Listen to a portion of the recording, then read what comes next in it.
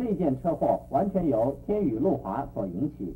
斗六新丰货运的一五一四九八五号大卡车满载葱头，在上述地点南下，方向盘未能及时控制，撞上路树。